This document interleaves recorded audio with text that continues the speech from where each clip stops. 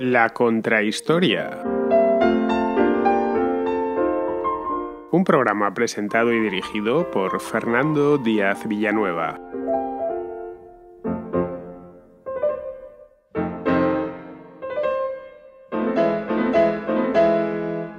Muchos de vosotros me habéis pedido en más de una ocasión, especialmente los que escuchéis la contrahistoria desde los países hispanoamericanos, que porque no trataba el tema de los mayas. El tema de los mayas es eh, interesante. A mí personalmente nunca es algo que me haya llamado mucho, pero sí entiendo que especialmente en los últimos años y sobre todo a raíz de aquello la locura aquella del 2012 pues se puso muy de moda y empezaron a publicarse libros, salieron incluso películas sobre los mayas, los mayas como una civilización precolombina, todopoderosa, mágica y en la que, por cierto, se han asentado buena parte de los mitos nacionales de países centroamericanos como puede ser Guatemala, El Salvador, Honduras e incluso México.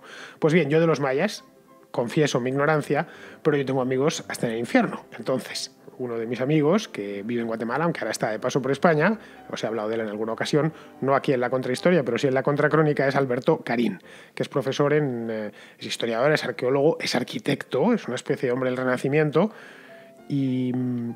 Y él vive ahí en Guatemala, ha estudiado el tema de los mayas, pero más allá de la historia propiamente dicha. Entonces hoy voy a hacer una contrahistoria a dos voces, que va a ser la primera que haga en dos meses y medio, una contrahistoria sobre el maya, o mejor los mayas, o mejor dicho, el mundo maya y sus consecuencias.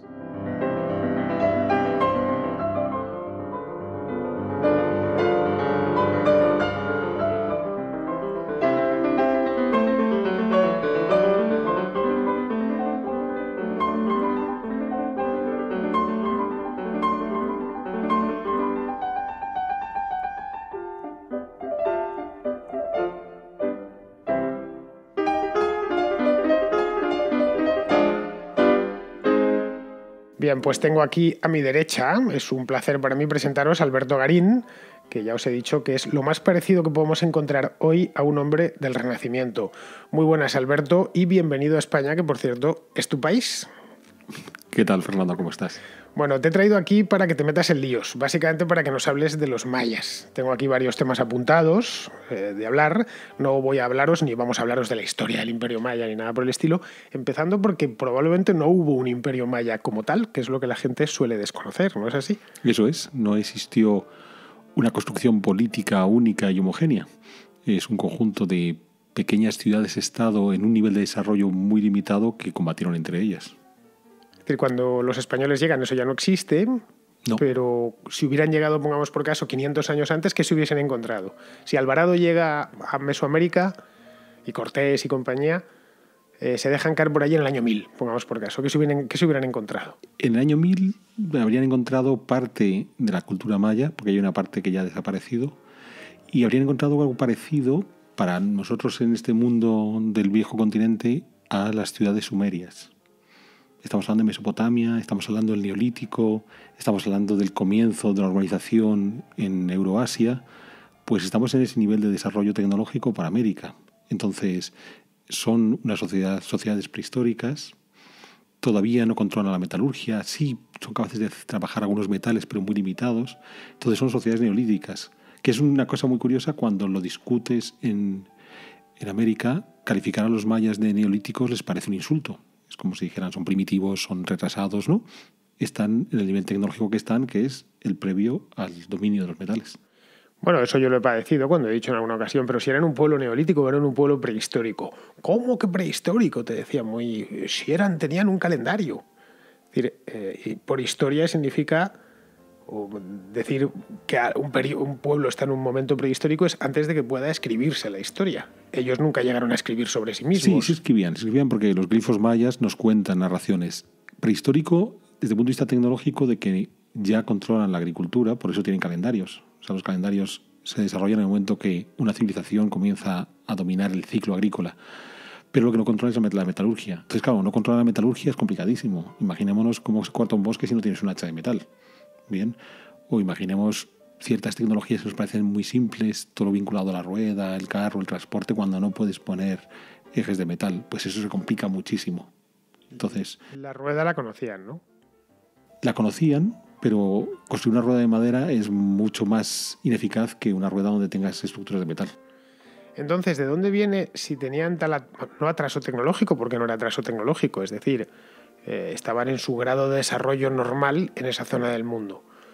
¿A qué viene lo que, lo que se ha construido después, la imagen de un pueblo tremendamente avanzado, más avanzado incluso que las civilizaciones europeas? Pues hay dos momentos de fundación del mito. Hay una fundación, digamos, de un mito para eruditos, y podemos hablarlo después si quieres, que es desde el origen de las excavaciones arqueológicas del mundo maya en tiempos de Carlos III de España, en el que redescubre una civilización de la que no se sabía nada. De repente, en un pedazo de América aparece una cultura de la que no se conocía nada. Y es una cultura que tiene arquitectura monumental, tiene pirámides, tiene ciudades, eh, con el, con el, tiempo descubriremos que tienen murales que cuentan unas historias muy complejas. Entonces, de todo esto no se sabe nada. No es lo mismo que los aztecas, los incas, que siendo civilizaciones también prehistóricas, eh, precolombinas, sabemos mucho de ellos porque los españoles las encontraron y combatieron contra ellos y pelearon contra ellos. Esta no.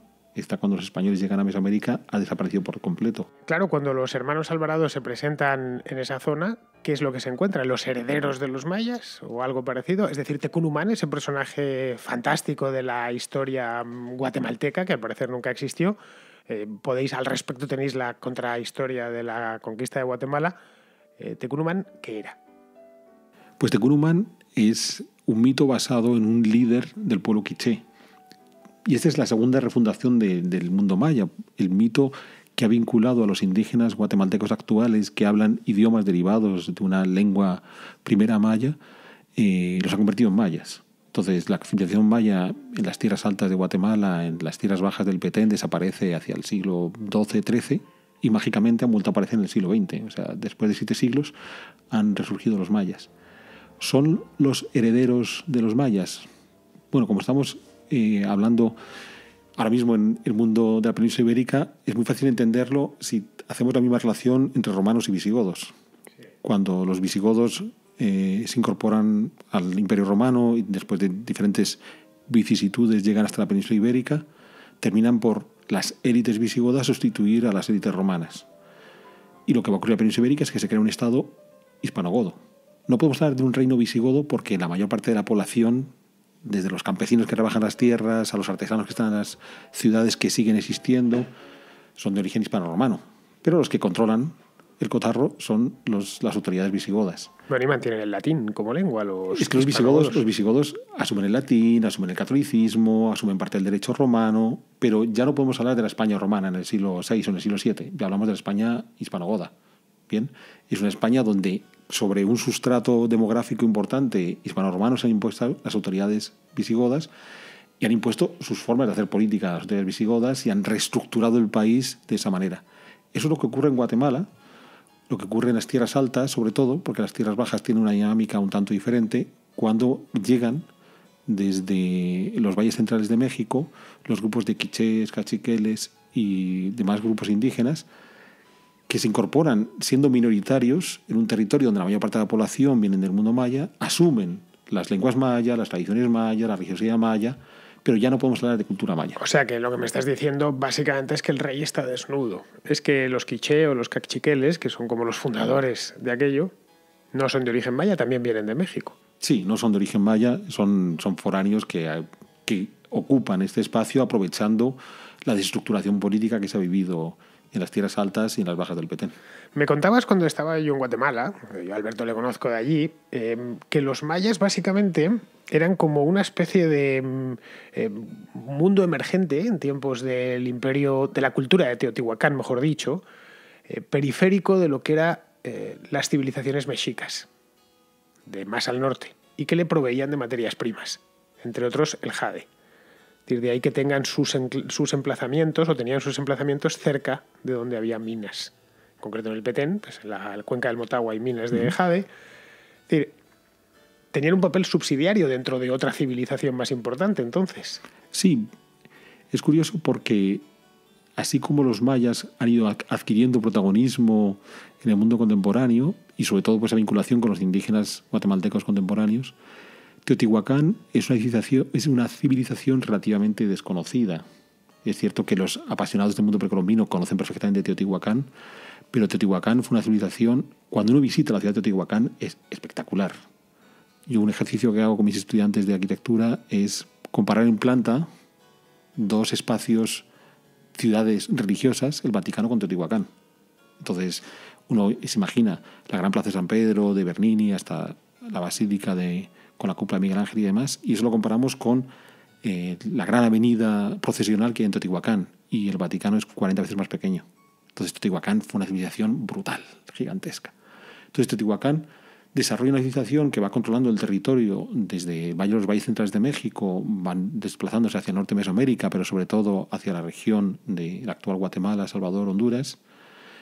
Y allí hay gente que vive, allí estaban los mayas ya, pero en unos estratos de desarrollo tecnológico muy limitado, con unas capacidades de intercambio, de comercio, de producción limitados.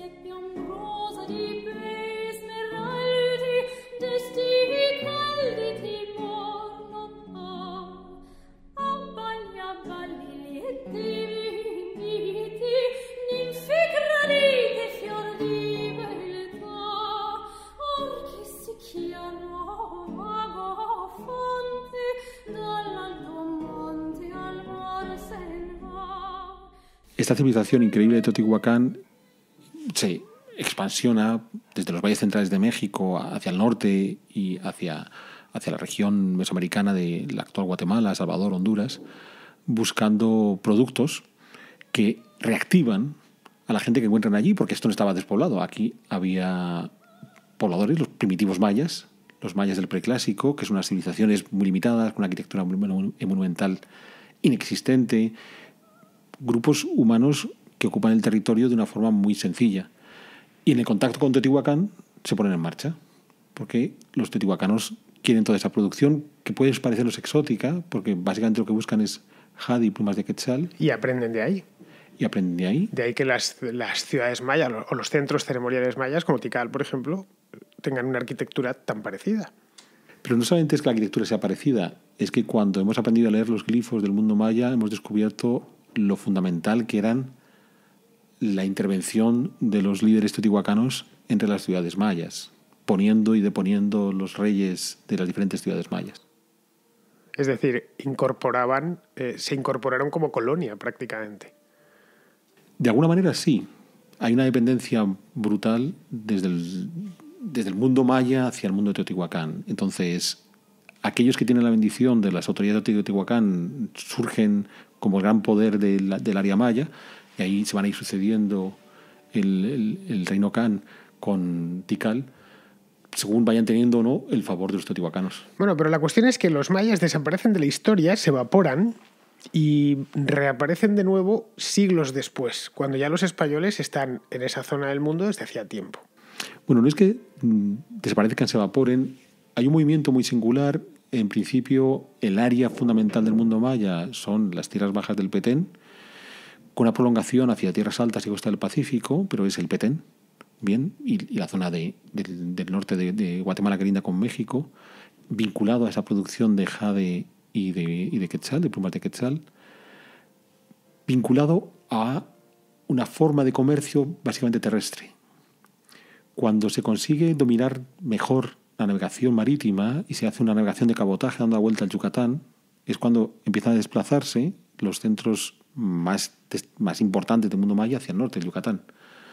Entonces sitios como Chichen Itza, que es muy famoso, ya es muy tardío, porque estamos hablando de los últimos coletazos del mundo maya en el postclásico, ya mediados del siglo XV, pero que tienen que ver con ese cambio en las rutas comerciales que dejan de hacer los viajes interiores para hacer por la costa, ¿no? Sí, pero incluso esas... así, aparecen, así aparecen ciudades como Tulum, por ejemplo, que está enfrente del mar. Eso está en el Yucatán, ya en México, no en Guatemala. Y es eh, curioso, vamos, yo ahí sí estuve hace unos años y pude verlo, que están los templos delante del mar. Sí. Nos parece casi un resort de esos de... Está muy cerca de Cancún y de Cozumel. Y parece casi que está puesto allí por alguna hotelera. De, bueno, aquí han puesto unas ruinas delante del mar y una playa. Tiene, llama la atención. Y esa es la razón por la que se habían empezado, habían empezado a acceder a Teotihuacán, a Teotihuacán a través de la costa. Eso es. Esto es una teoría que lanzó hace años ya un arqueólogo estadounidense de origen eh, guatemalteco, Francisco Estrada Belli, que está muy bien asentada. En realidad no está ese mito de desaparición, de repente algo ocurre misterioso que acaba con las ciudades eh, mayas de las tierras bajas, sino que sencillamente se desplazan, encuentran rutas comerciales. O sea, que no hubo ninguna, esto es muy típico de los documentales, especialmente de los conspiranoicos, ¿no? No hubo ninguna civilización extraterrestre que les invadió, ni les abdujo, ni un meteorito, ni nada es, por es el una estilo. Pena, es una pena, pero no. Es curioso porque Estrada Belli tiene una característica, eh, al contrario de otros muchos arqueólogos mayistas, que muchos de ellos son muy buenos, es que él tiene una formación en arqueología romana. Y como él mismo dice, en los romanos no hay ningún misterio, no hay nunca extraterrestres ni meteoritos porque dejaron todo escrito y todo está clarísimo. Claro.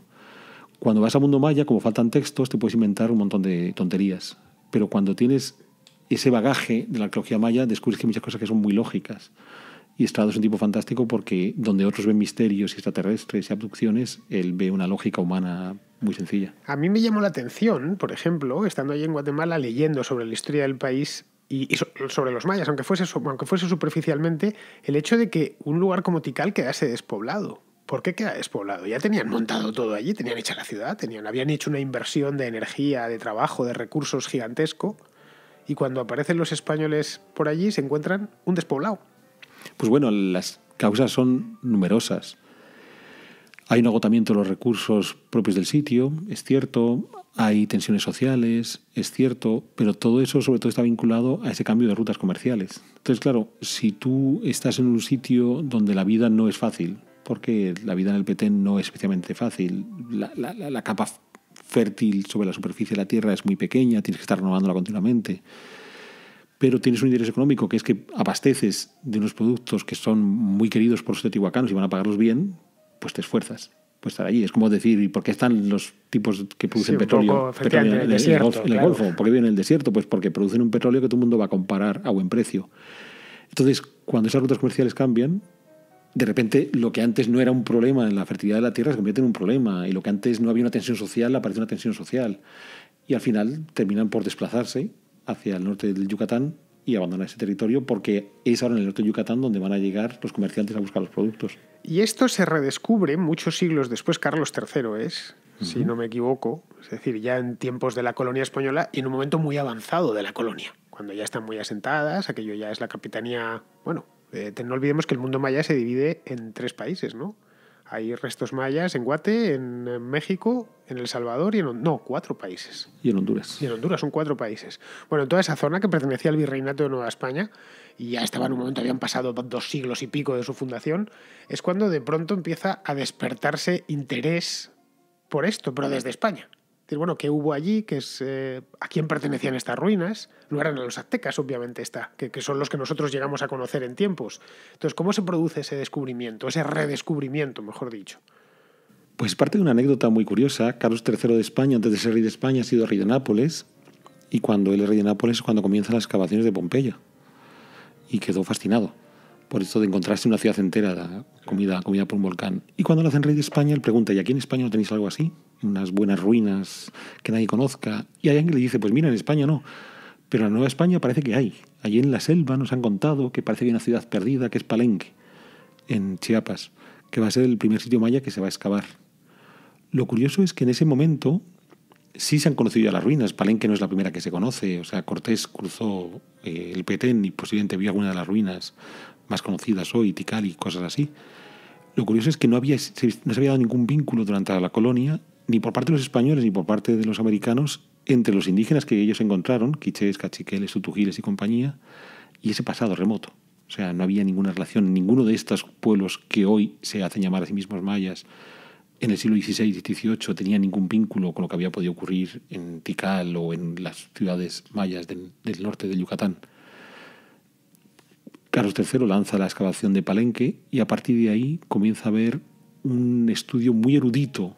Todavía no hay ese vínculo entre el mundo indígena contemporáneo, sea del siglo XVIII, XIX, XX y el mundo precolombino de los mayas.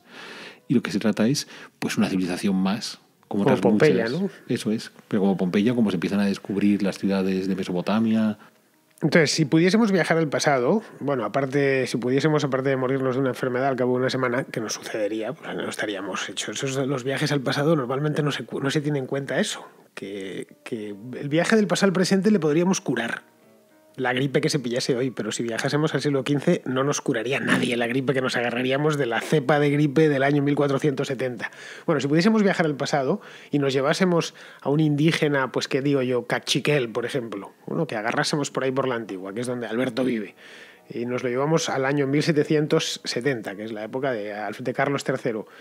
Él, eh, que él se considera maya actualmente, si hablase con sus antepasados, sus antepasados del siglo XVIII se consideraban mayas a sí mismos. No, y no hay que, no hay que viajar a 1770, puedes viajar a 1920 y no se consideraban mayas. Entonces es muy reciente. Sí, es muy reciente. Y te he dicho 1920, te puedo decir 1950. En realidad es todo un proceso político que se da a partir de los años...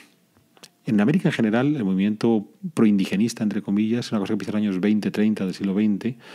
Y en Guatemala es algo que va a tomar mucha fuerza eh, a partir de la caída de Ubico en el año 43-44, cuando hay una cuestión, una cosa que se llama el Seminario eh, de, Estudios Indigenistas, de integración de estudios indigenistas, que pretendía, después de dos fases diferentes en la historia eh, independiente de Mesoamérica, la primera fase, nada más la independencia, a principios del 19, es mantener la República de Españoles y República de Indios. Los indios son los tipos que viven en sus pueblos campesinos y nadie se mete con ellos con las revoluciones liberales, las diferentes revoluciones liberales que vive Centroamérica, lo que deciden es acabar con ellos, estas cosas que hacía Justo Rufino Barrios de traer sangre europea a ver si mezclada con los indígenas los convertían en alguien más listos.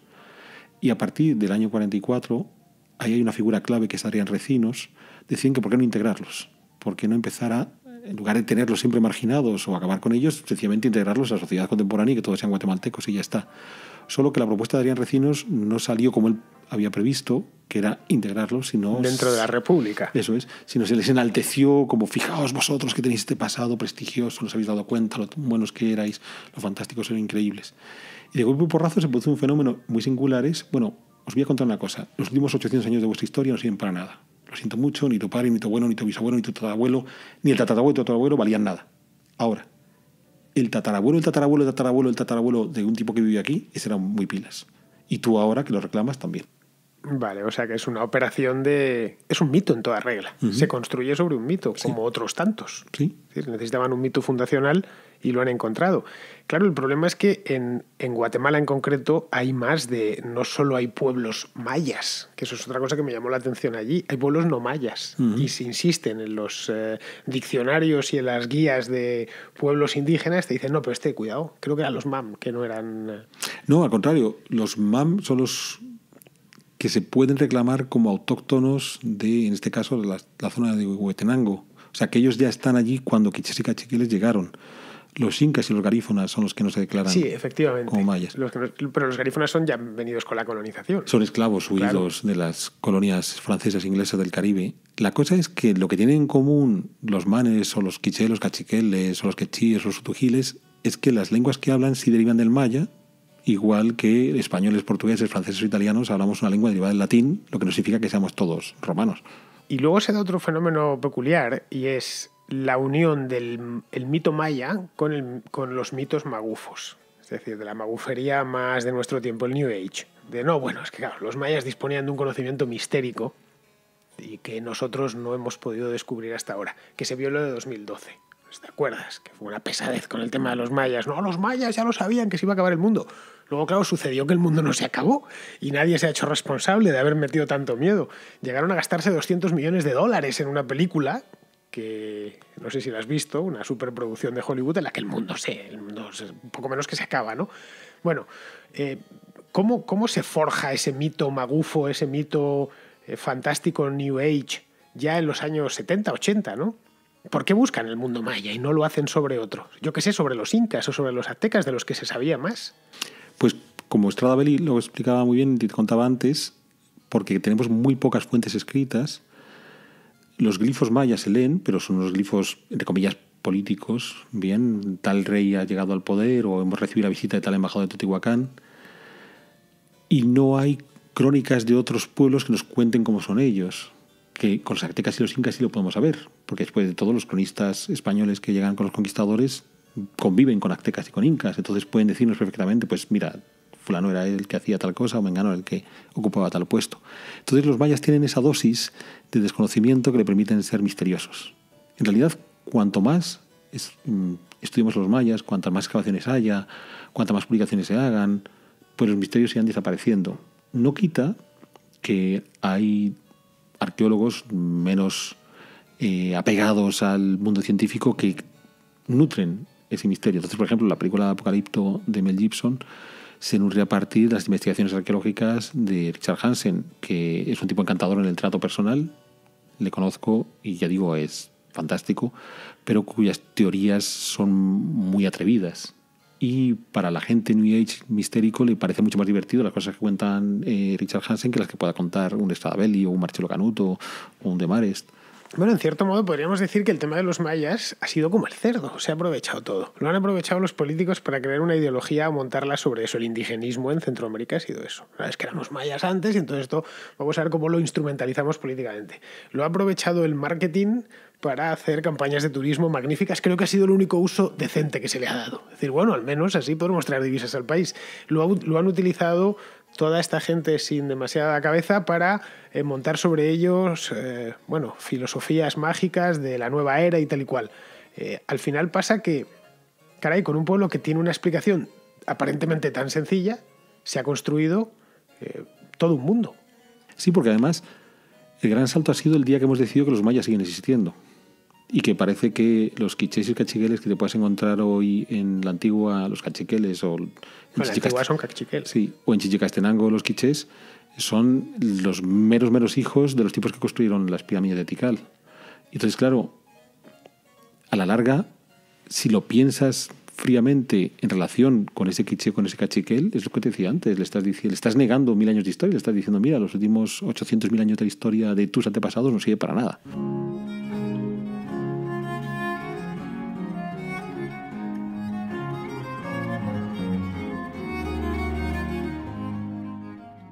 Los cachiqueles, por ejemplo, Iximché, esa ciudad a la que me llevaste el año pasado, ¿te acuerdas? Que está cerca de Tecpan.